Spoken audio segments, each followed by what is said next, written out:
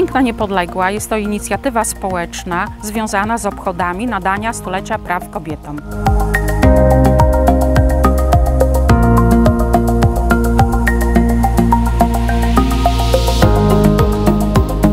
Piękna, bo mogliśmy obejrzeć w pokazie, jak się zmieniała kobieta, jak się zmieniała moda na przestrzeni ostatnich 100 lat.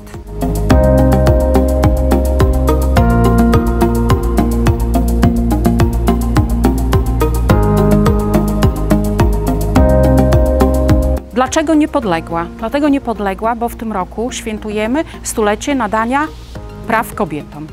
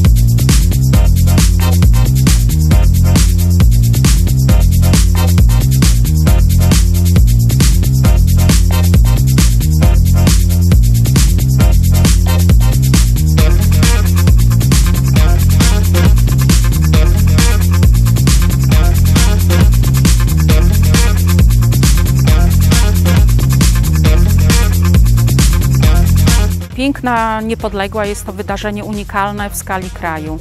Nikt jeszcze nie pokazał, jak się zmieniała moda na przestrzeni ostatnich 100 lat. Nam się udało.